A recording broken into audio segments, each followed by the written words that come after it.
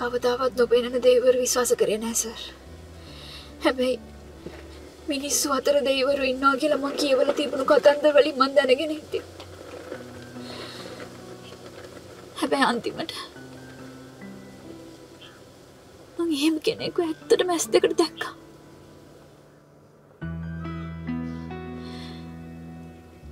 ඒ අසේනෙට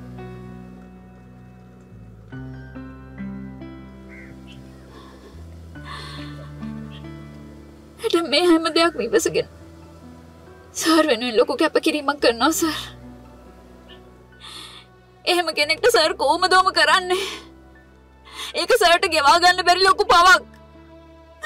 ඔය යන්නේ